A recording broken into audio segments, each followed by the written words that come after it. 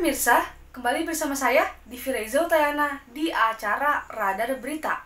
Riko Pramono, suami dari karyawan kawan lama grup yang diduga menjadi korban pelecehan, menyambangi Polres Metro Jakarta Barat pada hari Senin tanggal 15 Agustus 2022. Riko menyampaikan bahwa kedatangannya itu untuk melakukan konsultasi soal langkah hukum terkait dugaan pelecehan seksual yang dialami oleh istrinya. Sebelum ke Polres Metro Jakarta Barat, Riko lebih dahulu menyambangi kantor karyawan lama grup. Dalam kesempatan itu dirinya beserta istri bertemu dengan pimpinan perusahaan. Riko menyebutkan bahwa dalam pertemuan itu pihak perusahaan juga telah mengabulkan salah satu permohonan yang ia ajukan, yakni terkait permohonan resign istrinya. Sementara itu terkait permintaan agar pelaku pelecehan dipecat masih dilakukan pembahasan lebih lanjut oleh perusahaan. Dugaan pelecehan karyawan lama grup diceritakan oleh suaminya lewat sebuah utas di akun Twitter @jerangka.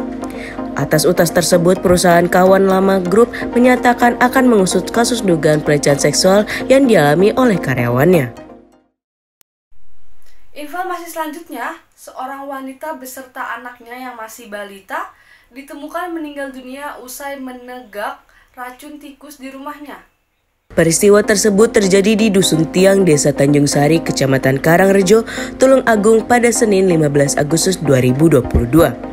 Kedua korban tersebut berinisial YM berusia 43 tahun dan MK berusia 5 tahun.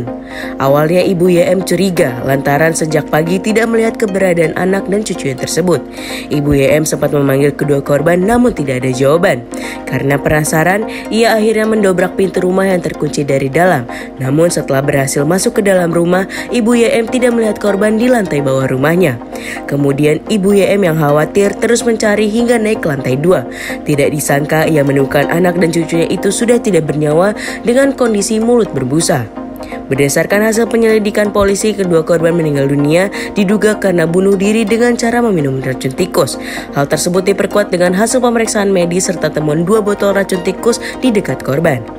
Penyebab korban bunuh diri dengan meminum racun dikarenakan korban YM diduga mengalami depresi. Baik pemirsa, informasi tadi mengakhiri perjumpaan kita di Radar Berita kali ini. Saya Divi Reza Utayana dan segenap kru yang bertugas pamit undur diri. Selamat sore dan sampai jumpa.